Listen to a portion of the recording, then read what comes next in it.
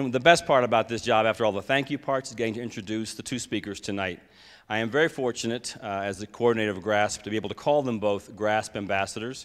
They, along with uh, Russ Mittermeier, who's here as well, and Richard Leakey, are the four GRASP ambassadors we use to spread the word of great ape conservation. I'm also really privileged to call them both friends. They are fantastic individuals. I'd like to now invite Dr. Richard Wrangham and Dr. Jane Goodall to please come out.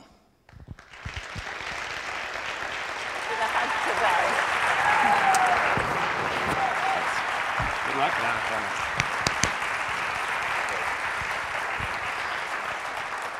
And while they get seated, I'd just like to point out that they have been friends since 1970, when Richard was one of Jane's earliest students. Uh, Richard has, uh, if you don't know Dr. Richard Wrangham's work, he's one of the leading experts in chimpanzee behavior, and he's taken it to a very uh, a broad and a public level with some fantastic books like Dynamic, Dynamic, Demonic Males. Sorry about that. And his 26 year study of the chimpanzees at Kibale in Uganda, one of the longest running studies of chimpanzees in the wild that there is. Dr. Jane Goodall has topped that slightly because she's done a half century basically of work on the chimpanzees at Gombe in Tanzania. Some of her publications, such as In the Shadow of Man, have changed the way we perceive as human beings chimpanzees, apes, and animals in general. So you did not come, though, to hear me speak. I will now turn the microphones over to Richard and Jane, and thank you very much.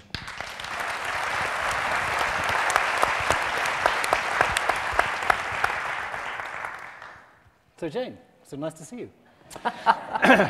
Can you believe it? 43 years. Um,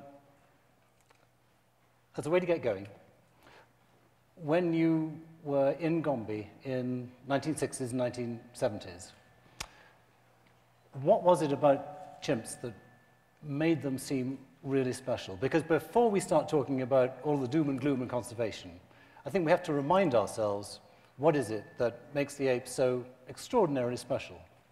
Well, I think what's really fascinating is that when I went to Africa, I had no dream of studying chimpanzees. I mean, that was too exotic. I had no degree. I mean, how, how, how could somebody like me do something as utterly, utterly exotic as chimpanzees, our closest relatives? And I would have studied any animal. And then I met Louis Leakey. And it was Louis Leakey who, you know, the reason he wanted me to study chimpanzees, which is sort of answering your question, is because he believed, as I believe, and I suspect you do, that six, seven million years ago there was an ape-like, human-like creature that was the common ancestor. And one part of it led to the chimpanzees of today, and one part to the humans of today. And Louis always believed that if we found behavior that was similar in chimps today and humans today, that, well, maybe we brought this with us up our long evolutionary pathway, and therefore it would help him to better imagine how early humans behaved, because he spent his life searching for the fossilized remains of our earliest ancestors. And now we know how right he was. Now we know chimpanzees, well, we like to think they're special because we think we're special. I suspect there's many other species on this planet who wouldn't think we were so special. And they would think they were, you know, like the elephants that are so endangered today and the rhinos. Uh, it's the International Rhino Day. They would think they were special. But anyway, we think chimps are special because they're so like us. And, you know, we now know, which we didn't really know so much back then, how biologically similar genetically similar they are to us. And what we've been uncovering at Gombe, and you've been uncovering it in Kibale and the other chimp study sites, how like us in behavior they are. So they not only show um, similarities in postures and gestures and communication and tool using and tool making, but they show not only the precursors of love, compassion, and altruism in us, but also the precursors of war and violence. Which you've written about in a really sort of wonderfully um, sympathetic way.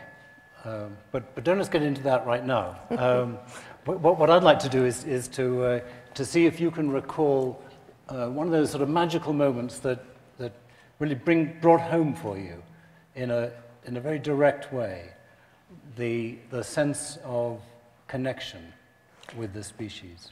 I think the most amazing, really, was in the fairly early days of the study when most of the chimpanzees were still running away from this peculiar white ape. And one of them, whom I named David Greybeard, he had this lovely grey beard. For some reason, he began to lose his fear before the others. And he came into my camp. He stole some bananas. And uh, he came back and got more. And eventually, because he got to realize that I was not so dangerous after all, he actually let me follow him. And before that, I'd come up on the chimps, I'd sat, I'd watched them. When they left, I let them go because I thought, you know, I don't want to push them.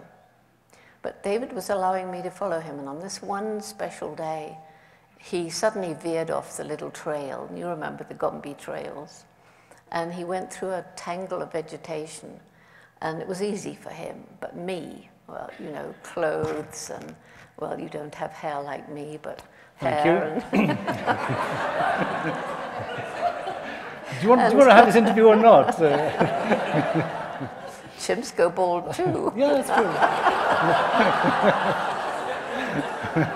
Anyway, so I was getting caught up in my clothes and my hair, and I thought, well, I've lost him, but I'll find him another day. So I finally got through this tangle, and David was sitting on the ground, and he was looking back. And I mean, it really looked as if he was waiting for me. Well, maybe he was, how do we know? So I sat down near him, and it was really peaceful. And there was a ripe palm nut lying on the ground. And as you know, chimps love palm nuts. So I picked it up and I held it out towards him on my hand, and he turned his head away. So turn your head away. That's right. So I put my hand closer, and then he turned, he looked directly in my eyes. He reached out, he took the nut, he, dro- he sort of let it slide to the ground, and then he very gently squeezed my fingers as chimpanzees reassure each other. And it was the perfect communication. I mean, I knew that he understood why I was offering it to him, and I knew he didn't want it. And it, it was just, I think, that one moment more than any other laid on me a responsibility that I've gained his trust. I must never, never betray that trust. It is a magical story, and, and it is the kind of thing that can convert someone for, for years, decades of, um, of investment in chimpanzee well-being. But in fact, it was quite a long time before you, you really changed your life from research towards conservation. And um, I think it was, you, you'd been going, uh, let's see, as long as uh, my current study of chimpanzees, 20, 26 years Yeah.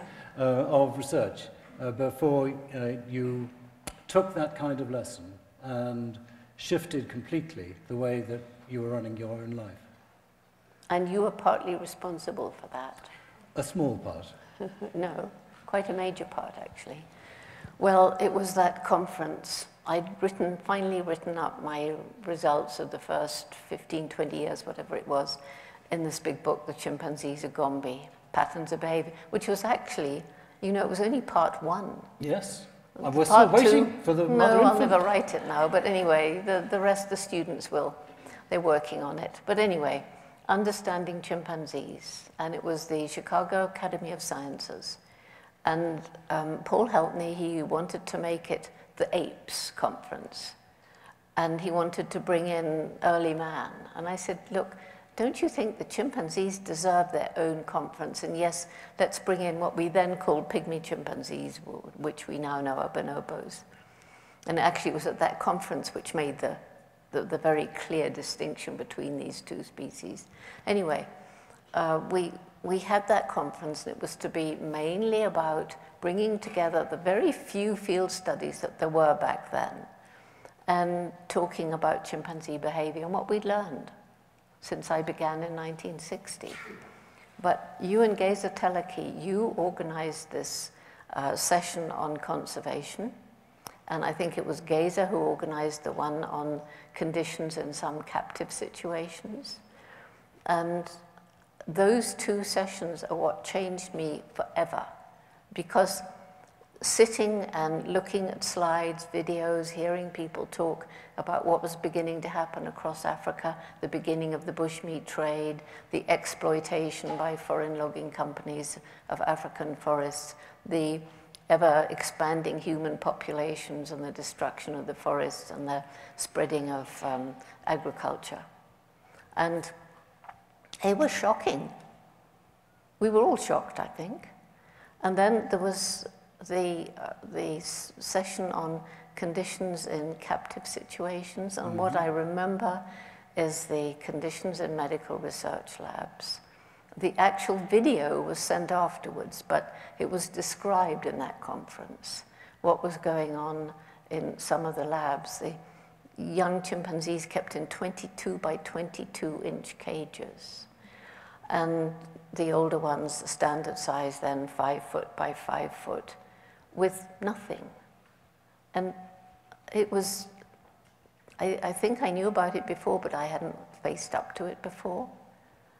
And honestly, Richard, there was no conscious decision in my mind about, well, I better stop doing this, living in this dream life that I dreamt about as a child, this beautiful forests of Gombe, writing books, analyzing data, which I loved, doing some teaching. It was an ideal life. And I came out an activist. And since that day, I haven't spent more than three weeks in one place at a time. But it wasn't a decision. It just, like, I call it my Damascus moment, you know, St. Paul on the road to Damascus. And it's had fantastic effects. But of course, um, well, do, do you ever regret that you didn't start doing conservation work earlier? Doing it earlier? Um, no, because it was that conference, it was that book that gave me some kind of standing in the exactly. world of science. Yeah. It couldn't have happened before. That's right. I couldn't have made any difference. I couldn't have gone into the labs as I did and face up to these people in white coats who were so sure that what they were doing. I mean, you know, when I went to Cambridge, you know what happened to me. I was told I shouldn't have given the chimps names, they should have had numbers, and I couldn't talk about them having personalities or minds or emotions, because those were unique to us. That was 1961. So here you were 25 years later, and, uh, and you'd established a terrific reputation, because that book um, immediately solidified the reputation you'd already established as uh, being uh, extraordinarily knowledgeable about chimpanzees and leading the way in showing that wild animals could be understood as having emotions and integrating that with an understanding of their natural history. Well, this is what I was trying to do with the scientists, but as you know, there were many scientists back then who just said, oh, she's just a geographic cover girl. It's only because of her legs. you know that. You had great legs.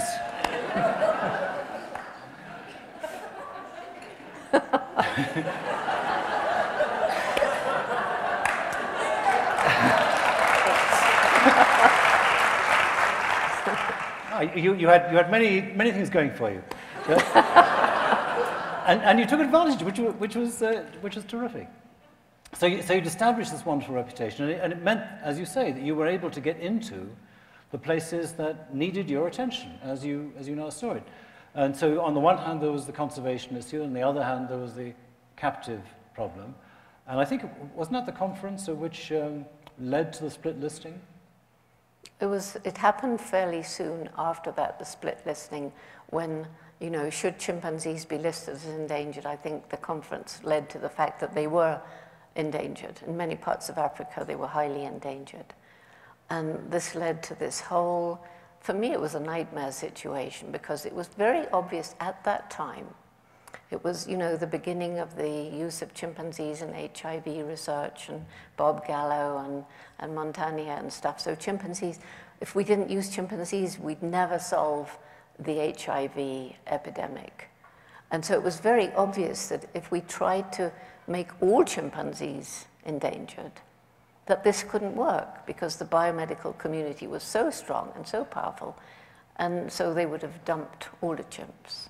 So Geza and I agreed with a lot of heartache that, okay, let's have the wild chimpanzees in Africa and all the chimps in Africa listed as endangered and the ones in captivity threatened, which was not ideal. And we vowed to fight it. And how long has it taken? 86 to uh, 14, 27 years. 27 years to get the chimps here listed as endangered. Yeah, so um, probably everybody here knows it, but, but um, I mean, you must be incredibly excited about what has happened now. That uh, what, it's Finally. not actually signed into law yet, I guess, is it? No, it's not, but it will be. But, but it's, it's just about to be the yeah, case that, yeah. that all of the captive chimpanzees are now regarded as endangered as Right. well. And I think even more exciting for me because, you know, visiting those labs, those were probably the grimmest days that I remember going to some of those labs. Some were so terrible. And, you know, a lot of the NIH labs or the NIH funded research. And, you know, now finally, almost the same time as the, as the listing issue, is the NIH agreeing that 300 of its 350 chimpanzees shall be retired into sanctuaries. This is, it's like, you know, okay, it was worth fighting for. We still got 50 to fight for, but we will fight for them and we will win.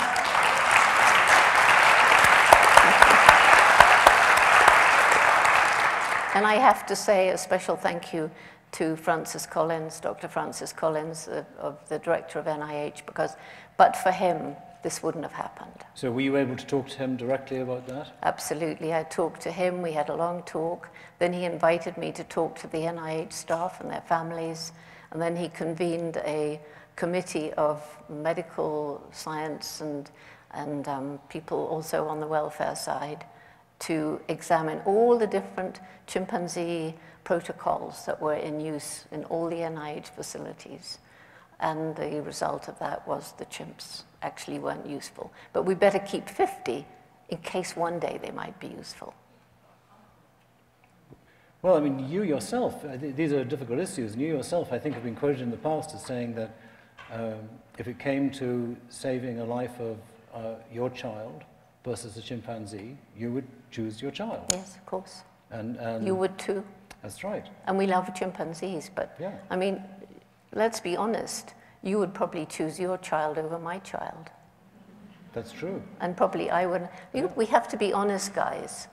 You have to put yourself in that situation. And my contention is nobody should ever have to be put in that situation Yeah. because it's not ethical. Right.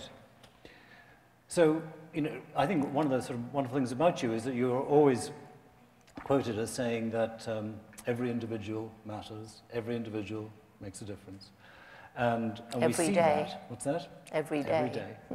um, we see that, of course, with you um, as an individual making a huge difference. And uh, it's just incredibly exciting that the status of captive chimps, even though it's not perfect, is a lot improved over what it has been in previous decades. So that's on the captive side. Let's go to the wild. Um, how did you uh, begin by exploring the issues concerned with conservation in the wild? Such a crazy thing when I think back on it. Uh, I, I, I designed an exhibit. You may have seen it because I did come to Uganda with it. It was just pictures blown up and mounted on cardboard, and also a collection of objects actually used by chimpanzees as tools, actual rocks and actual twigs and actual stuff like that, you know, the, from Taï forest, the nut cracking chimps and so forth. And I got some money. Oddly enough, it was from Conoco, the oil company. And that's a whole other issue that we have to talk to the extractors in order to try and work with them to, you know, to get them to do things better. But that's another thing. But anyway, they paid for this exhibit. And I think I went into eight of the different chimpanzee range countries carting this exhibit with me. And I remember being basically the exhibit and me sort of was impounded in uh, Sierra Leone. Or no, it wasn't Sierra Leone, it was uh, Cote d'Ivoire because they said, Who is this crazy white woman and why is she carrying a lot of rocks and sticks in boxes? And they, they, they wouldn't let me out. I had to get the American embassy to come and release me. Anyway, um, but it was, it was as I went around these countries and began talking to, well, political people if possible, but NGOs and people on the ground and anybody, and having wildlife awareness weeks and, and things like that. And that was when I began to realize something about the fact that it wasn't only chimpanzees who were suffering, it was the Africans too. And it became more and more obvious that the, you know, this crippling poverty and the terrible disease and the ethnic violence and the population growth and the destruction of the environment and how you're going to cut down the last tree, even though you know that soil erosion is going to damage your future. If your family is starving, you're going to cut down those last trees to try and grow the crops while you can. What else would you do? And so that was when I began to realize that, you know, the old exploitation of colonialism, and you and I, Richard, you know, with our British roots, we know only too well now. I didn't know as a child, and you probably didn't either, did you? But I had no idea of the harm that we were doing with our colonial empire. But we know now. And we find that the same kind of thing is going on with some of the multinationals. And you know, the exploitation, the extraction of the natural resources, making the extractors richer, and usually the local people, apart from a few corrupt politicians, poorer. And so, you know, that was when I thought, well, okay, I better travel around Africa and try and raise awareness here about the plight of chimps and forests, but also in Europe and North America and increasingly in Asia. That's what led to this crazy 300 days a year on the road. So what you're describing is, is very much the way that conservation has gone in recent decades. Uh, thinking about the, the way to strategize about making sure that a habitat can persist is an integrated approach that links in forest, in protected area conservation to activities outside. Mm. And it wasn't long, I guess, before you were coming back to Gombe and applying that lesson very directly.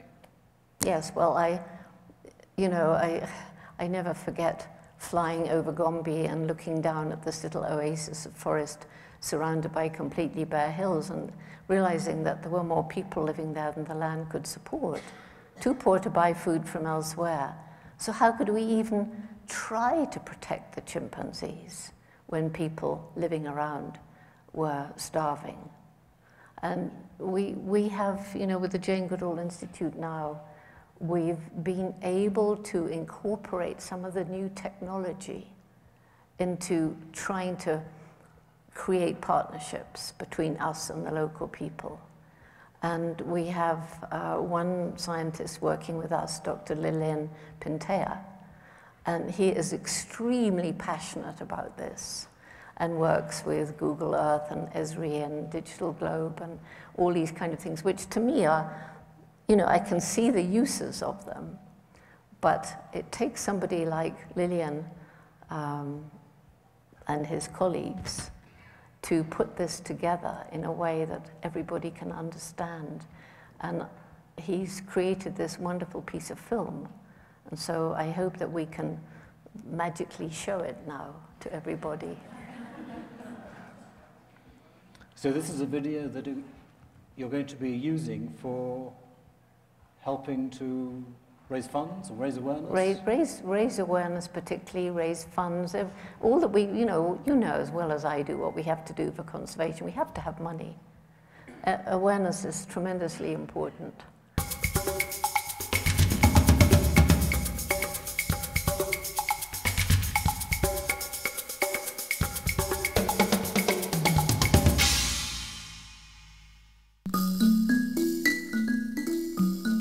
First got to Gombe, it was 1960.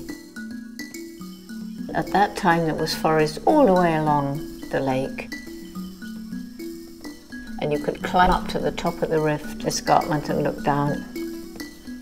There was chimp habitat forest everywhere.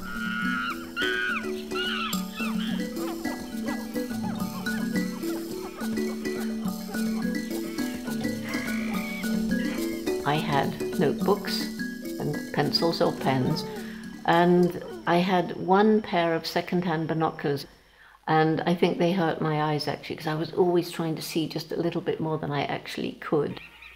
Fortunately, just before the money ran out, I saw one of the chimpanzees, the first to begin to lose his fear of me, and he was actually picking leafy twigs and stripping the leaves to fish for termites, which was making a tool.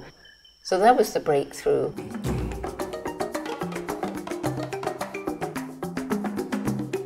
Some friends of mine really cared about the research, and they started the Jane Goodall Institute. And today, there are so many Jane Goodall Institutes dedicated to chimpanzee conservation, research, and education.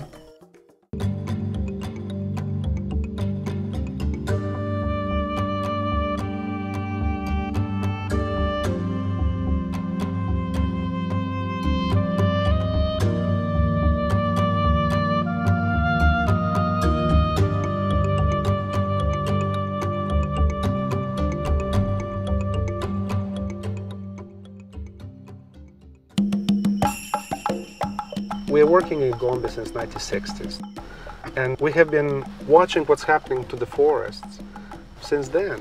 But it took Jane to take a small plane to actually have that aerial perspective.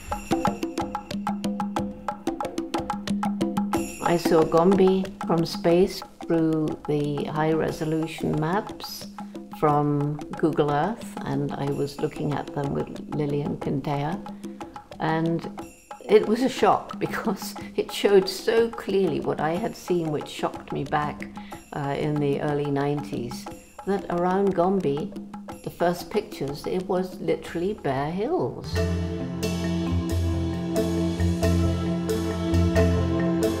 And it should have been forest, and it once was forest. And it was very clear that the land was becoming increasingly infertile due to over farming and erosion as the forest cover was cleared. And that's when it came to me, you know, how can we even try to save these chimpanzees if people are having such a tough life? So that led to working with the villagers in the early 90s to improve their lives so that in turn they can come around and be our partners in conservation.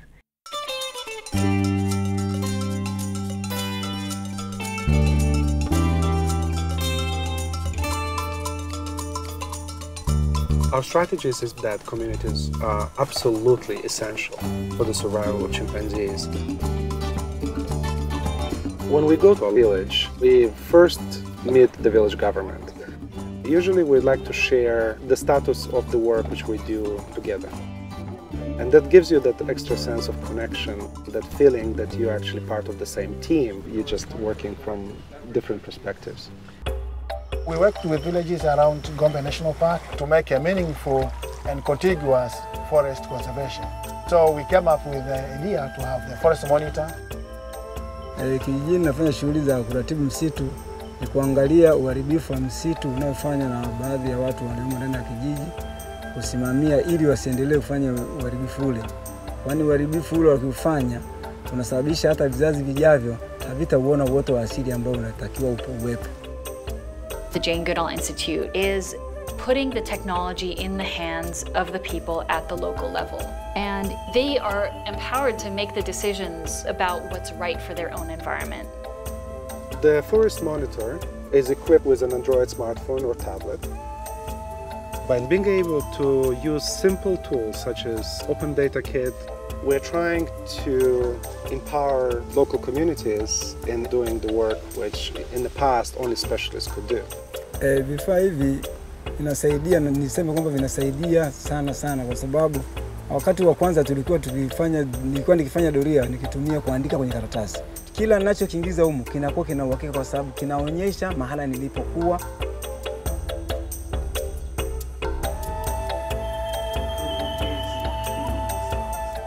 The forest monitors collect the field data, they upload it into the Google Cloud. It's not just useful for that village, it's actually contributing towards a global effort of monitoring forest and natural resources around the world. The Jane Goodall Institute is not only using Open Data Kit to collect all of their field data, but they're also using Google's entire suite of mapping technologies. And so they're really at the cutting edge of using technologies to save chimps and their habitat. We're using geospatial technology to bring on the same map science knowledge and indigenous knowledge to understand how we're achieving our mission. We looked over the chimpanzee range and we figured out that by working with nine countries, we can save up to 85% of chimpanzees. Um, and this is our focus. They've used Gombe as their laboratory, and now we're together scaling it up. We want to scale it up across the entire Congo Basin, which is where so many of the remaining chimpanzees live. And because we have the Google scale technology, we could have thousands of people submitting data and it can immediately be shared with billions of people around the world.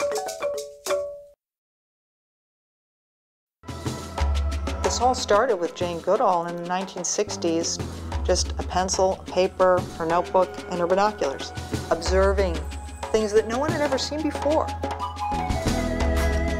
Now, we can all see what's going on in these landscapes with the satellite imagery that's coming every day, the data that local communities are collecting on the ground, and it creates this real-time picture of a place that can transform conservation.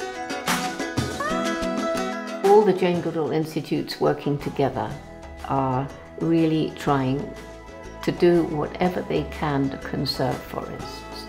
And if you conserve a forested area in order to protect chimpanzees, of course you protect everything else. Every single individual makes a difference every single day. And we have a choice as to what sort of difference we're going to make.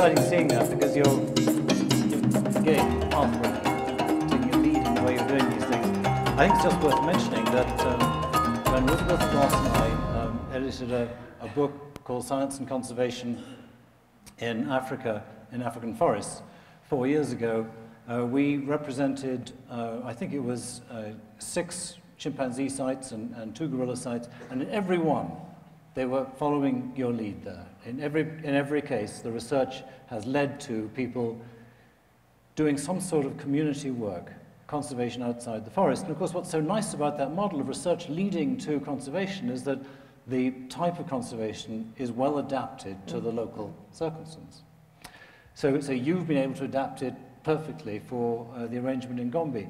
Can, can you tell us how things are going there? I mean, do, do you feel that as a result of this investment, you are starting to succeed in um, uh, stemming the flow of um, poaching, of uh, forest cutting, of whatever the threats are? Well, I think, you know, there was an awful lot of footage that isn't in that little tiny short film.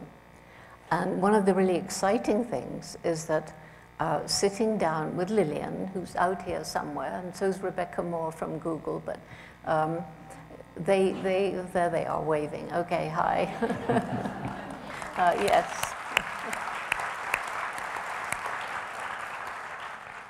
Lilian was able to sit down, he was able to get high resolution maps from, you know, satellite imagery, GIS, GPS, and all the rest of it.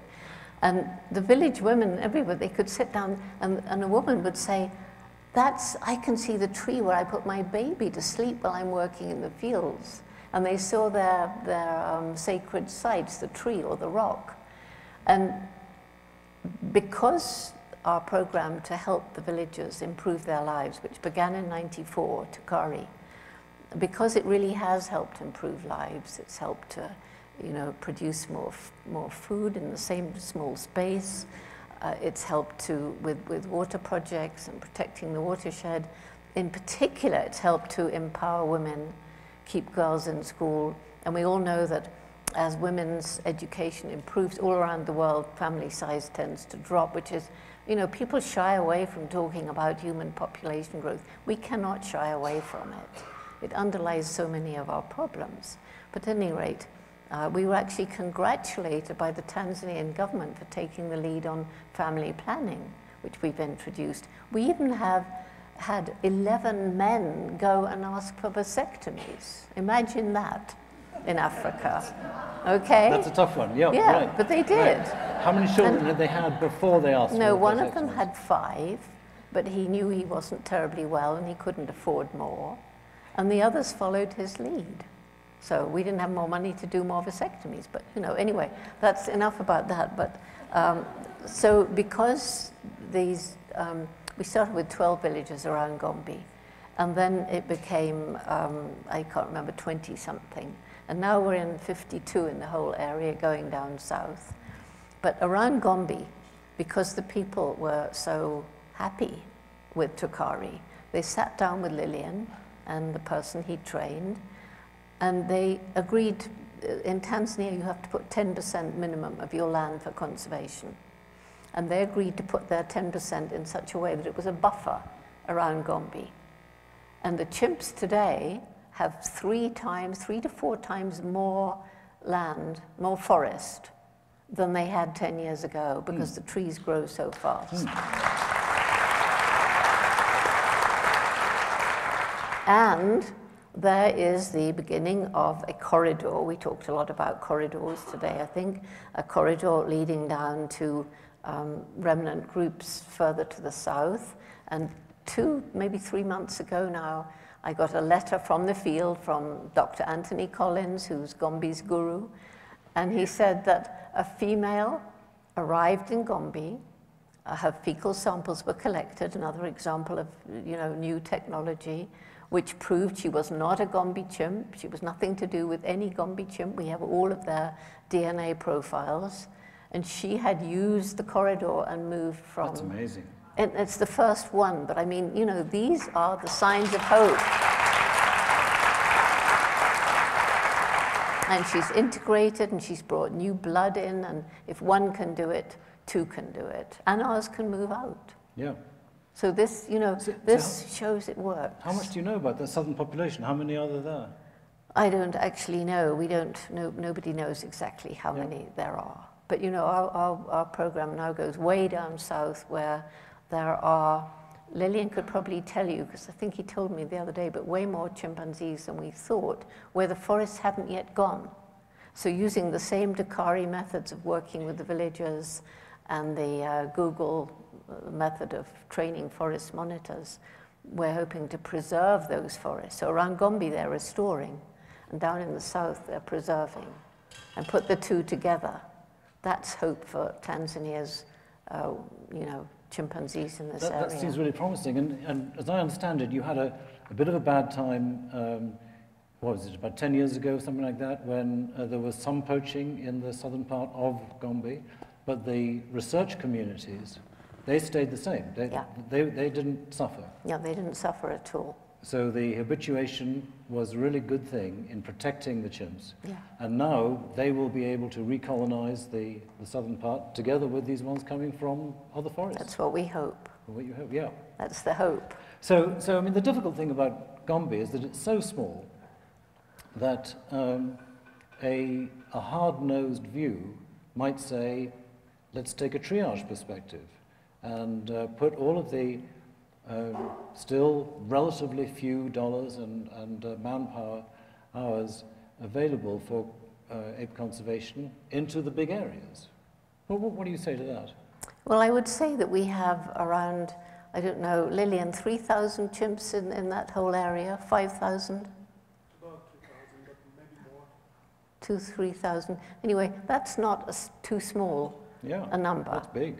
And, you know, those are what we're concentrating on there. But then we've taken this whole, uh, you know, conservation effort into DRC, um, into Uganda, um, and then, of course, in Tchimpounga, in Congo Brazzaville, we move into the whole bushmeat trade, and DRC the same.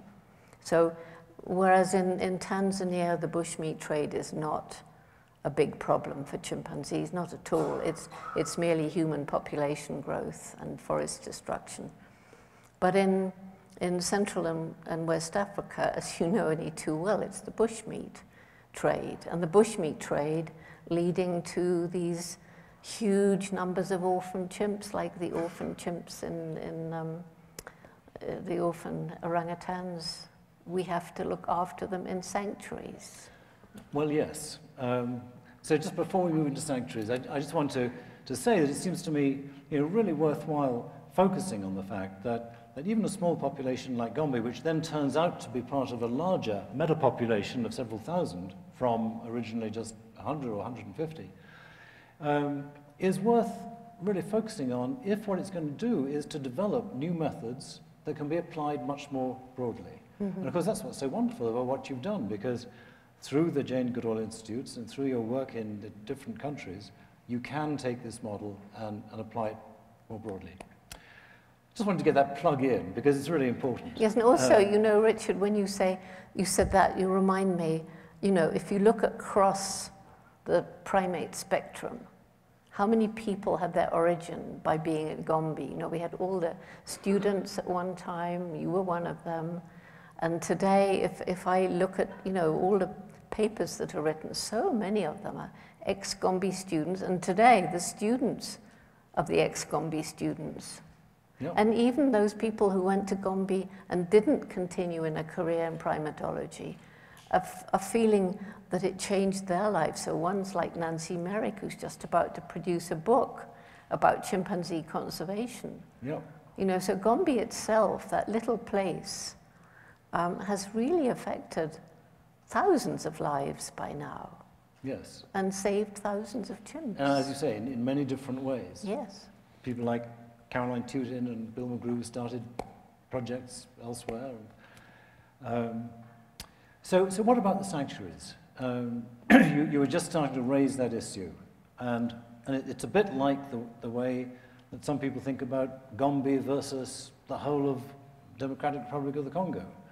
Um, there are people who say that um, it's really not worth saving the lives of a few chimps, gorillas, bonobos, orangutans, because the amount of money that you spend could be so much better spent elsewhere. I'm there sure are, you've got an answer to that. there are various answers, aren't there? Um, the answer that's very close to my heart is exactly what you've quoted and the film said, every individual matters. And every individual has a role to play. I never wanted to become involved in sanctuaries, but I remember so vividly, I was in Kinshasa, and I'd gone there because somebody wrote to me and said, Jane, there are all these orphan chimps, and their mothers are being shot, and they're being sold in the markets, and you know, please can you come because something has to happen. And I thought, well, there's nothing I can do. But then, you know, then this African thing started for me. So I went there and I will never forget driving past and seeing this little chimp. It was, he was about one and a half years old, I suppose. And he was curled up in a fetal position on top of a little tiny cage in a market. And he was surrounded by tall, you know how tall the Congolese are and they were laughing, and it was hot and, and dusty. And we stopped the car, and I went over, and I thought he was dying actually. He was just lying, his eyes were glazed. And I went up to him and, and bent down, and I did the little greeting. And he sat up and reached out to me like this. Well, it was like David Greybeard holding my hand. What could I do? I couldn't turn my back. So we actually went to the American ambassador, and it is against the law. So uh, he went to, I don't know, some official, and we got a policeman. And that was when Graziella Cotman said she would look after this infant if we could confiscate him. And that started the whole, my whole involvement with sanctuaries in Burundi and DRC and Congo Brazzaville and Uganda. You know, we started that one way back when. And um, it's, it's a nightmare situation, but, but what can you do when they look in your eyes and reach out like that? You would feel the same. You do. I do. Exactly. And then there's the whole other uh, thing that it's raising awareness. And we've had so many people come into our uh, Tchimpounga sanctuary in Congo, Brazzaville, from the local area and say, I'll never eat a chimpanzee again. Because the people don't know. We have television, we look at stuff all the time. People in America have no excuse not to know uh, what chimpanzees are like if, they, if they're interested. But out there, the hunters just see glimpses in the trees. Some of them know a bit more than others. Most of them have absolutely no idea. They don't know how like us they are. Yeah. They don't know that they kiss and embrace and hold hands and look after each other. And movies are very important. We can talk about that in a minute, maybe. But um, that's right. Uh, somewhere like um, Claudine Andre's sanctuary, Lola ya Bonobo, thousands of school children visit there every year. Yes. What a huge impact Yes. that has to make.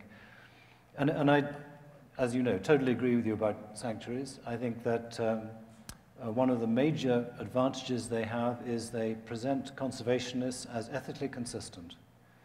Uh, it would be quite inconsistent to forget about those pathetic individuals who've been tied up in villages or exhibited in hotels or whatever it is, uh, uh, while we try and conserve the forest as a whole. But that's the difference between welfare and conservation, because there are conservationists who only think about the good of the species.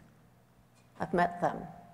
They don't care about the individuals. They may personally care, but ethically they don't care. But I think people who work with great apes tend to escape that particular I hope so. aspect. And then the other thing that sanctuaries are wonderful for is they become repositories of information about conservation throughout the country. And as you say, they're, they're sources not just of education for, for children and the general public, but sources of advice for conservation action. They, they're tremendously important in all sorts of ways. Um, but they're under threat. th- Richard, you told me this morning something which has really moved me about this gorilla sanctuary. Can you, can you share that with people? Well, Please. uh, th- th- th- this is, is very moving. So Yes. sanctuaries in general um, are, are doing quite well um, for the last, uh, what is it, 15 years, something like that. We've got the Pan-African Sanctuary Alliance, PASA, uh, that has really done terrific things to raise standards of care. But in some places, the sanctuaries are under threat because they are treated in uh, words that were delivered to Claudine Andre just this week uh, like pet shops, where there is the risk that after all of the care that has been done to bring these orphans into a state of good health and into possible candidates for reintroduction, they may be cynically taken away and uh, delivered to perhaps foreign zoos. Rumors are abundant about China being involved. This is particularly threatening at the moment to uh, the sanctuary called Grace in eastern Congo, which is the only one that has gorillas from the eastern lowlands, Grauer's gorillas.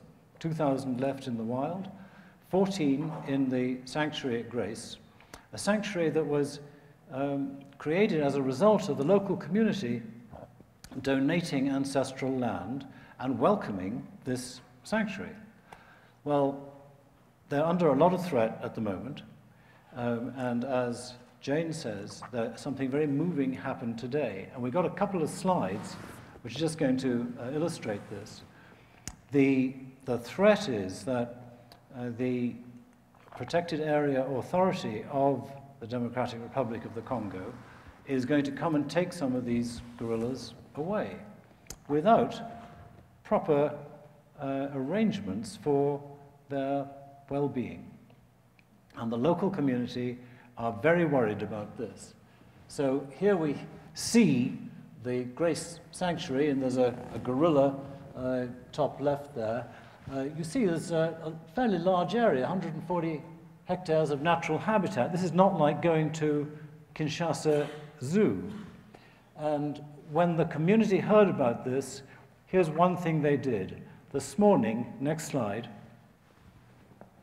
got a clicker. Instead of going to church in the church, they came around the sanctuary and prayed together around the sanctuary that the gorillas would not leave.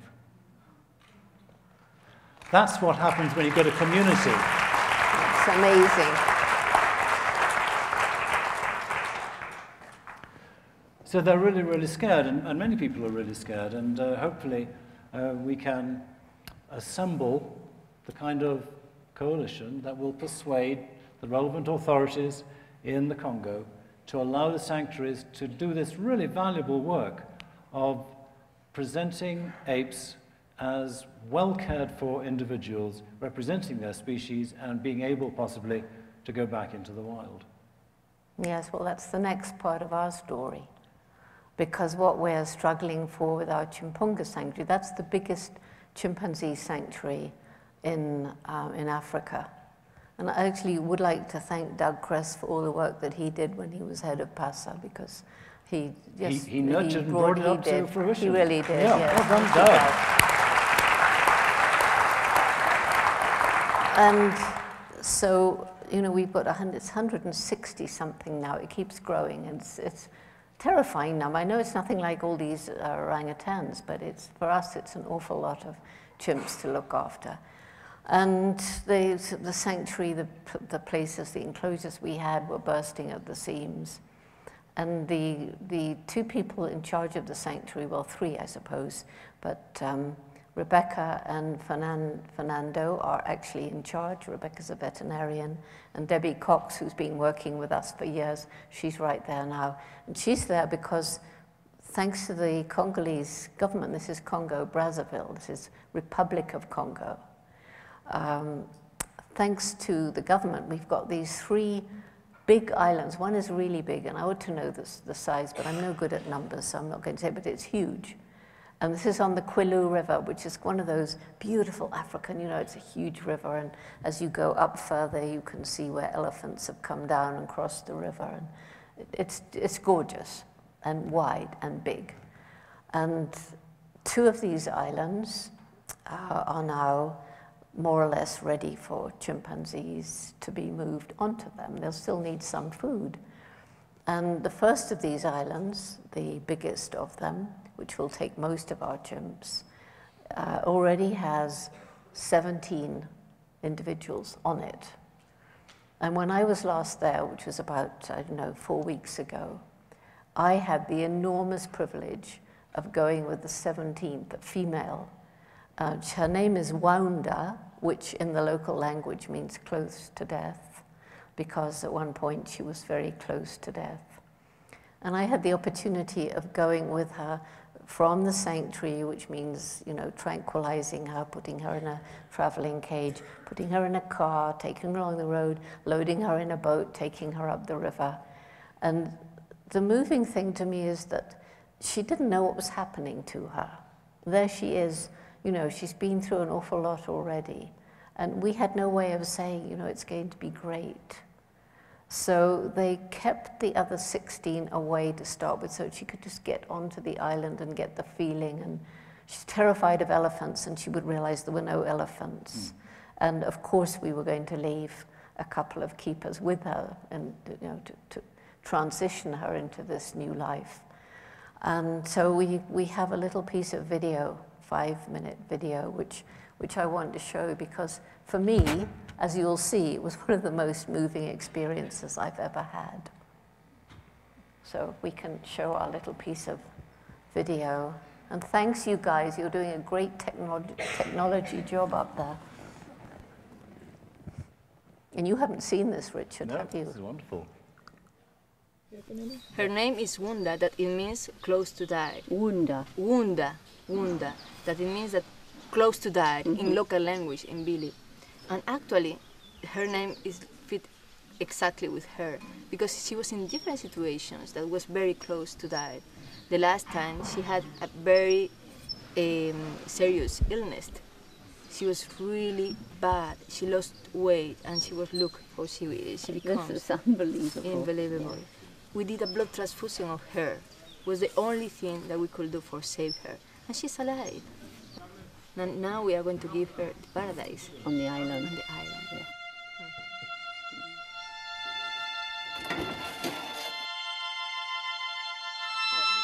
this is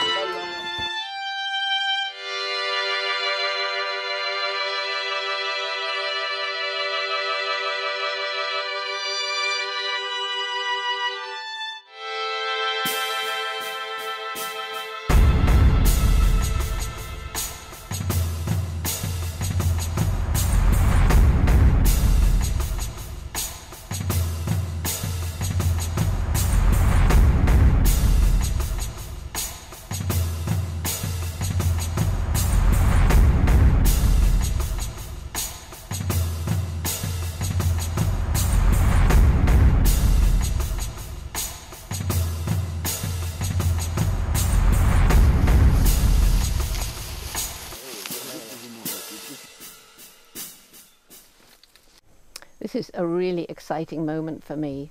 Uh, here, in here is Wounda, and she nearly died, but uh, thanks to Rebecca, she she came back from the dead almost. I mean, I saw her looking almost dead, but anyway, now she has a will to live, and here she is about to come out into this paradise.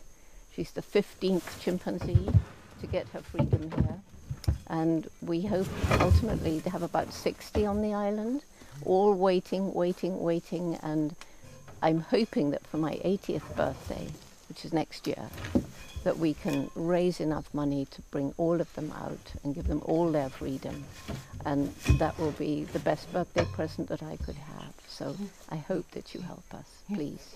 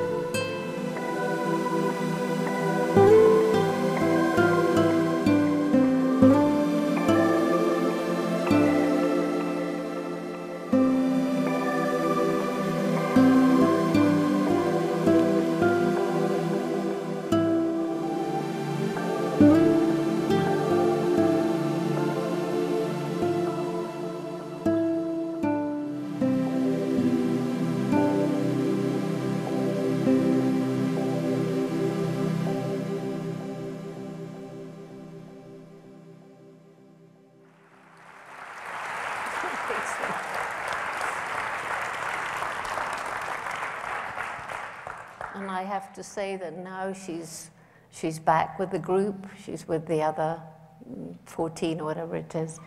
And um, hopefully this, this phase of her life will, will be good. Those are the moments worth waiting for, aren't they? Yeah. Many of the individuals that have ended up in sanctuaries are there as a result of the bushmeat trade. Yeah. But that suggests that the bushmeat trade, that wrongly suggests that the bushmeat trade is the really important factor in conservation of the species as a whole. Because ultimately, it's pretty clear that the real threat is the conversion of forest into agricultural lands. Your former student, my former colleague, uh, Nancy Merrick, happened to be in Uganda just this week. And she sent some slides today which just illustrate the fact that forest conversion is threatening, in this case, chimpanzees, because they're just losing their homes. If we can have the next little set of slides, um, here we got areas of, of uh, western, northwestern Uganda, where uh, Lilian who may be in the audience, um, has been working very hard to protect these forests, but it's a, it's a very difficult battle. Here are just some examples of, of clear cutting for planting of, of new crops. Next. You've got a couple of chimps who are, who are seeing a strip of forest, uh, their only strip remaining. You can Yeah, see yeah, through the forest. Uh, next slide. So there you can see just how thin the strip is. Next slide. So this was a group of some 30 that are reduced to 19, and the trees that they have been relying on for fruit, uh, many of them are going to be cut in the next wet season. Next slide. So they end up in the villages because there's nowhere else for them to live. We've seen that, this around Kibale, and, and here this is being seen in the Hoima district. And um, it's a pattern that is repeated in many different places outside the protected areas. So what this raises is the, the future for the apes in areas that um, don't have the, the terrific dedication of, of people like you in, in small areas. So what do we have to do? We have to, you know, a key thing is corridors so that these isolated populations can actually form a viable population, right? And so what do we have left to do? Well, one, we haven't talked about ecotourism. But these villages, as we found around Gombe, once they had other ways of making a livelihood, they stopped cutting down the trees. And if we can make it, and, and you know, the REDD Plus program we're using a lot in southwestern Tanzania, that we're readying the villages. So hopefully the carbon polluters will put money into protecting rainforests. That's, that's not the ultimate solution to our planet's problems. It's a temporary one, but even if we can get something going temporarily to save the chimpanzees and the gorillas and all the rest of it in this desperate time. So if the villagers realize that the trees growing can provide them with as much income as cutting them down and selling them and protect the water sources and give them, you know, better, better quality of life.